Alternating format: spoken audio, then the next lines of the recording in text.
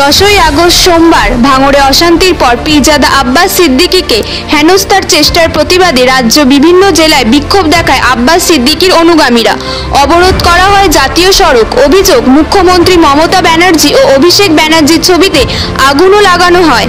ফলে আরও চরমে উঠেছে তৃণমূল বিধায়ক শওকত মোল্লা বনাম, পীরজাদা আব্বাস সিদ্দিকীর বাগযুদ্ধ। রবিবার ভাঙড়ের ঘটকপুকুর মোড়ে হাজার হাজার মানুষ নিয়ে প্রতিবাদ সভা করেন এলাকার বিধায়ক শওকত মোল্লা। প্রতিবাদ সভা থেকে সেদিনের ঘটনা প্রসঙ্গে বলতে গিয়ে পীরজাদা আব্বাস সিদ্দিকীকে খোঁচা দেওয়ার পাশাপাশি সরাসরি রাজনীতিতে নেমে লড়াইয়ের চ্যালেঞ্জ জানান তৃণমূল বিধায়ক শওকাত মোল্লা।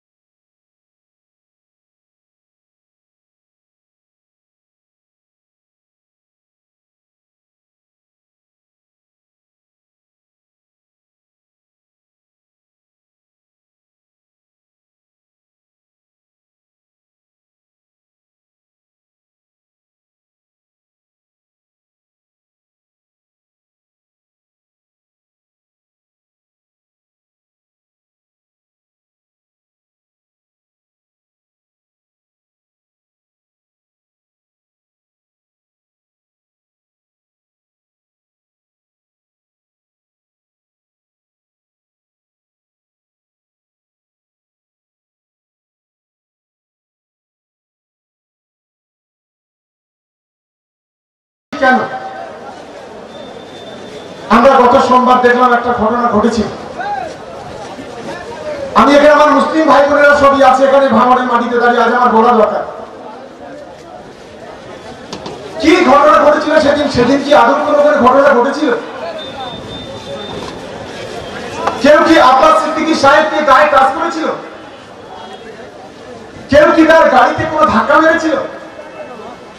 কেউ কি তার গাড়িতে ভিড় মেরেছিল? কেউ কি তাকে অপমান করেছিল? আমি তো নিজে তার প্রমাণ নিজে তার সাক্ষী। আব্বাস সিদ্দিকী সাহেব কয়েকটা বাচ্চা বাচ্চা নিয়ে গেলেন কাজদিয়া স্কুল মাঠে। মমতা বন্দ্যোপাধ্যায় সম্পর্কে, অভিষেক বন্দ্যোপাধ্যায় সম্পর্কে, সরকার সম্পর্কে কুস্তারা ডাকছিলেন।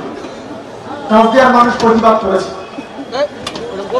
খবর পেয়ে চতুর্দিক থেকে মানুষ কাজদিয়ার মানুষ বোঝার মানুষ একটা কথা বলেছিল, আপনি আপনি ধর্মের কথা বলুন। আপনি ইসলামের কথা বলুন। আপনি করণের কথা বলুন। আপনি হাদিস করণের কথা বলুন। আপনি কেন রাজনীতি করতে এখানে? এটাই হচ্ছে অপরাধ। কয়েকজনের উপর চড়াও হলো, চতুর্দিকে লোক খবর পেয়ে আব্বাস সিদ্দিকী সাহেবকে কোন একটা ঘরে ঘিরে ফেললেন। বারাইপুর জেলা পুলিশের পুলিশ সুপার মিস্টার রশিদ সাহেব আমাকে ফোন করলেন। এমএলএ সাহেব, ওখানে আব্বাস সিদ্দিকী সাহেব ঘেরাও হয়েছে। একটু আপনি যান আর আমাদের পুলিশের কর্মকর্তারা যাচ্ছে, একটু ওনাকে চলে যাওয়ার ব্যবস্থা করে দিন। আমরা নিজেরা উপস্থিত থেকে যখন ওনাকে বের করে দিলাম, হঠাৎ করে একটা ফেসবুক লাইভ দেখছি। উনি ঘরের মধ্যে থেকে ফেসবুক লাইভ করছেন কি? যে ওনার নাকি গাড়ি ঘোড়া সব ভেঙে দেওয়া হচ্ছে। আমি তো অবাক হয়ে ফেসবুক লাইভ থেকে। ওনার সঙ্গে যারা ছিল, যদি এখানে কেউ থেকে থাকে, আমি তাদেরকে বলব তারা কেউ যদি, একটা মানুষ যদি যদি বলে আব্বাস সিদ্দিকী সাহেবের গাড়িতে একটা ঢিলের টুকরো ছুঁড়েছে, আমি আজকের এই লক্ষাধিক সমাবেশের মধ্য দিয়ে আমি কথা দিচ্ছি, আমি নাক দিয়ে আমি রাজনীতি ছেড়ে দেব। আমরা বিশ্বাসকে শ্রদ্ধা করি, সম্মান করি। ফুলপুরা শরীফের যত বিশ্বাস আছেন, আমরা ফুলপুরা শরীফের ছোট থেকে বড় হয়েছি ফুলপুরা শরীফ। মা দাদা হুজুরের মাজার জিয়ারত করে মেজি হুজুর কেবলার মাজার নহজুর কেবলার মাজার, ছোট হুজুর কেবলার মাজার, চার শহীদান হুজুরের মাজার আলু ভরা সিদ্দিকী সাহেবের মাজার জিয়ারত করে আমরা বড় হয়েছি। আমরা তোহা সিদ্দিকী সাহেব, ইসমাইল সিদ্দিকী সাহেব অমর ভাই সাহেব থেকে শুরু করে মারু ভাই সাহেব থেকে শুরু করে, আমাদের অনেক ভাই সাহেব আছেন, যাদের সঙ্গে আমাদের সুসম্পর্ক আছে। কই ফুলপুরা শরীফে তো অন্য কোন পীরজাদার আছেন? জুনিয়র যারা ইয়ং ভাই সাহেবরা আছেন? যারা সিনিয়র ভাই সাহেবরা আছেন? তারা তো কই এই ধরনের কেউ নোংরামি করেন না? আমি আমার মুসলমান ভাইদের কাছে শুধু একটা কথা বলতে চাই পরিকল্পিত ভাবে সেদিনকে আব্বাস স্যার এই ঘটনাটা ঘটেছে, ঘটিয়েছে। অন্যায়ের আপনার প্রতিবাদ করবেন না? আমি তো জানি ভাওয়ার ক্যানিয়ার মানুষ। কোন অন্যায়ের কাছে কোনোদিন মাথা নত করেনি আর আগামী দিনে মাথা নত করবে না, এটা নিশ্চিত ভাবে আমরা অন্তত মনে করি। উনি বলেছেন, তৃণমূল কংগ্রেসের চাইতে নাকি বিজেপি ভালো? আমি অবাক হয়ে যাচ্ছি।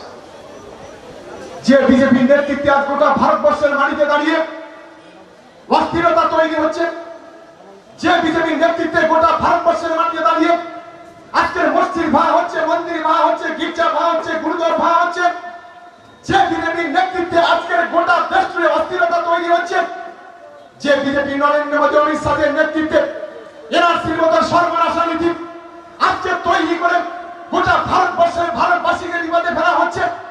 সিটিজেন অ্যামেন্ডমেন্ট অ্যাক্ট তৈরি করে ভারতবর্ষের কোটি কোটি মানুষকে নাগরিকত্ব থেকে সরিয়ে দেওয়ার চেষ্টা করা হচ্ছে। আজকে আপনি লজ্জা করেন। যে বিজেপি তৃণমূলের চাইতে বিজেপি ভালো, লজ্জা করে আমার নেত্রী মমতা বন্দ্যোপাধ্যায়, তাকে আমরা গর্ব করি সেরাম জানাই ফেরুর জানাই।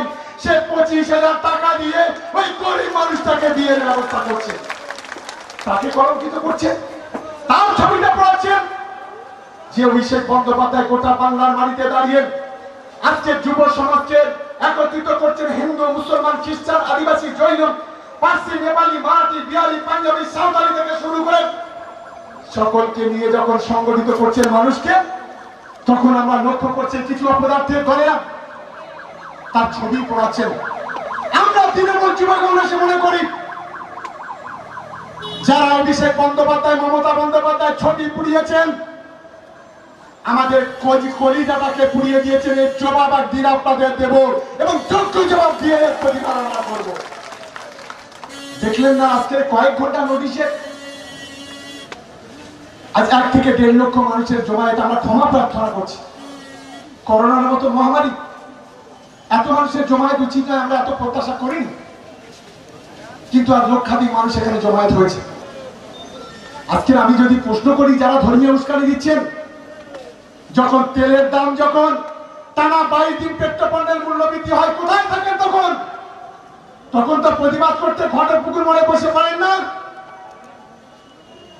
চারটে লোক নিয়ে হু হু করে, হুক্কা হুয়া করে এখানে বসে পড়া যায়।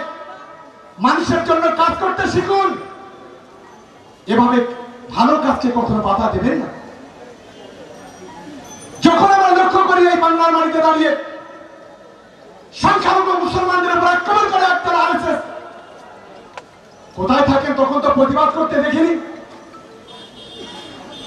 আর সামান্য কিছু মুসলিমদের মুসলিমদের চিঠি লাগিয়ে দেওয়া হবে, তাদেরকে কীভাবে ভাগ করে দেওয়া হবে? এই চেষ্টা চক্রান্ত ষড়যন্ত্র করছে। তাই আমি বলি, কারও যদি এতই রাজনীতি করার শখ হয়, আসুন না, সরাসরি রাজনীতির ময়দানে ওয়েলকাম জানাব আপনাকে।